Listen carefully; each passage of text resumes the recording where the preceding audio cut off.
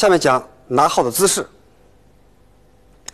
左手拿着号身，右手这三个手指头分别放在这三个活塞上，手型呈半圆形，啊，不要这么按键的，这样按键呢，将来吹奏起来会很慢，啊，啊，呈半圆形，用第一个关节的前半部分出键，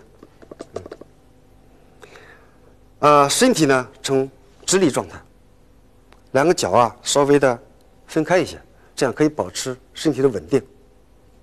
嗯，角度呢，耗子儿的角度，耗身的角度和身体大概呈七十五度角，啊，如果它直的话是九十度，往下落一点，七十五度，不要太低，过低过高对吹奏都有影响。下面讲坐立吹奏。坐立吹奏，身体也要保持直立状态。这个角度把号口抬起一些了。啊，有些同学呢不太注意这个坐姿，坐的时候呢很随便，这样呢不利于吹奏。啊，有的同学呢就靠着凳子了，靠这么吹不好啊。这个还有的呢，呃，翘二郎腿，这都是一些很不好的习惯。